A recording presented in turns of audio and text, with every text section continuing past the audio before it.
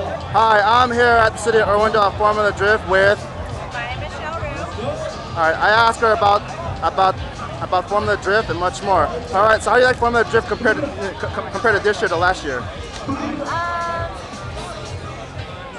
it's kind of the same. They're always, you know, a good crowd.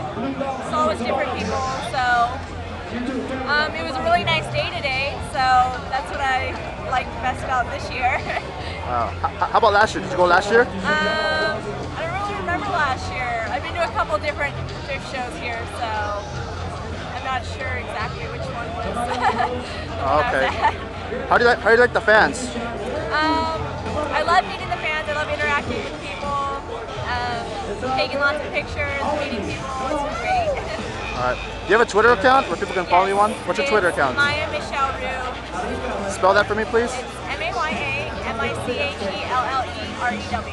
Do you have a Facebook account? Yes, it's Facebook and then the same Maya Michelle Rew fan page. All right. Any message to your fans? Um, hi, come visit me at all the next shows. All right. Thank you.